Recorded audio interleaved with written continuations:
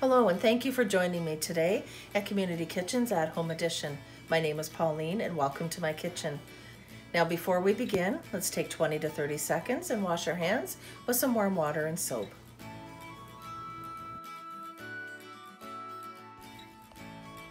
For the caprese sandwich, you will need one medium tomato sliced, 8 ounces of mozzarella cheese, 4 ciabatta buns or bread of your choice, balsamic glaze for drizzle, salt and pepper to taste.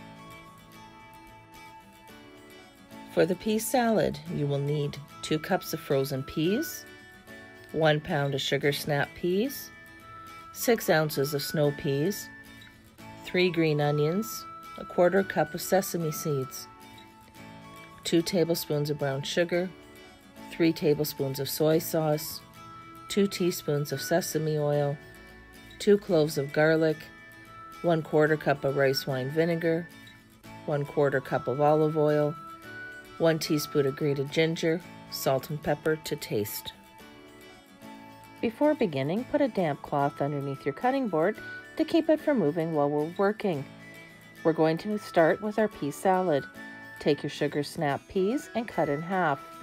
Gather the snow peas together and simply cut them into long, thin strips. Next, take the green onion and remove the root end. Cut into four pieces, turn, and slice into long, thin strips. If you find it easier, you can use a pair of scissors to cut your onion.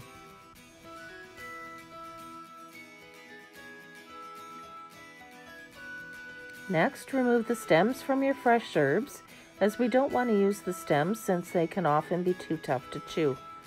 We're going to gather them into a tight little bundle, roll, and slice thinly. Next, add in our frozen peas, and we're ready to make our salad dressing. Before you begin your salad dressing, add your sesame seeds to the top of your salad bowl. Now here's a pro tip.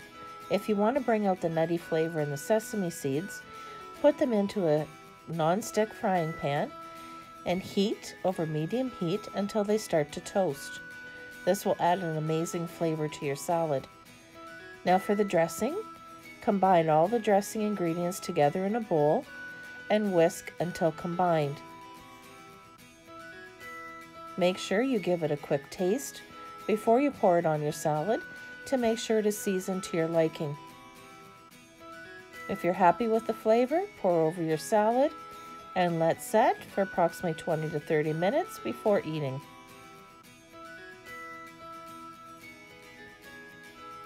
To assemble the sandwich, cut the bread in half lengthwise and add a thin layer of pesto. On top of the pesto, we're going to place our tomatoes, followed by salt and pepper to taste. On top of that, we're going to add our freshly cut mozzarella with a thin drizzle of the balsamic glaze. Now the balsamic glaze can be a little bit bitter, so we are going to make sure we're not going to add too much. Now at this point, you can either serve the sandwich as is with the salad, or you can put under the broiler and toast so that the bread gets nice and crispy and the cheese gets melted.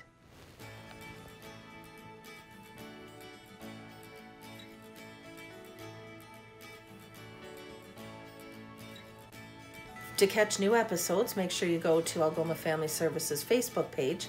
And if you want to see some other episodes, head on over to YouTube, Algoma Family Services, and you can see lots there.